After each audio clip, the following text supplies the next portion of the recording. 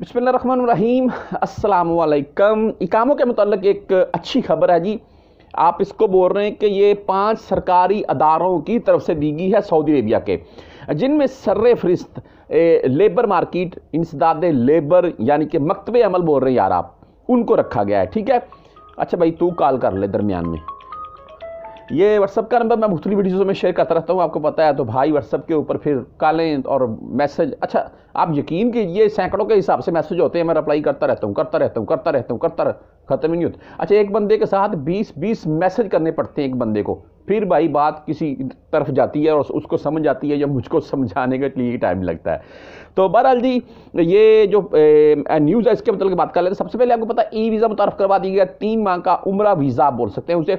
उसके बाद visit visa मुतारफ़ करवा दिया गया, यानी कि एक साल का सॉरी कोई भी सऊदी, किसी भी बंदे का, पाकिस्तानी बांग्लादेशी भाई, किसी भी बंदे का एक साल का वीज़ा निकाल सकता है। ये कहकर के ये बंदा सऊदी अरेबिया में मैं मंगवाना चाहता हूँ विज़िट के लिए। उसमें आप उम्र कर सकते हैं, आप मदीना शरीफ ज़्यारतें कर सकते हैं, तमाम ज़्यारत के मुकाम घूम सकते हैं, पूरी सऊदी अरेबिया घूम सकते हैं। आप सऊदी अरेबिया में जैसा कि मौसम रियाज या फुटबॉल का कोई भी मैच वगैरह या कोई भी और ऐसे, उनको जाकर वहाँ पर टिकट लेकर उनको वहाँ पर देख भी सकते हैं। यानी कि वो वीज़ा आपको एक सिंपल फाल में अगर बात करें तो जो वीज़ा है ना, एक साल का, विज़िट वीज़ा जो मुतारफ़ करवाया जा रहा है वो आपको एक खुला आपको वहाँ पर समा मिलेगा। आप कहीं भी आ जा सकते हैं, कोई पाबंदी नहीं होगी उसके ऊपर। एक साल सऊदी अरेबिया में कहीं भी हाँ आप काम नहीं कर सकते कहीं भी, कहीं दिहाड़ी लगे हुए हैं किसी के पीछे। उस उस सूरत में अगर आप पकड़े गए तो आप डिपोर्ट होंगे, ठीक है जी? ये जो अभी कामों के मतलब न्यूज़ है जी, ये आपको पढ़ कर सुना तो मैं। पाँच सरकारी अदारे लेबर मार्केट की ज़रूरियात को मद्देनज़र रखकर लेबर मार्केट की ज़रूरियात को, ठीक है? अभी लेबर मार्केट कौन सी है? तमाम वो परदेसी भाई जो लेबर के तबके में आते हैं, ठीक है जी?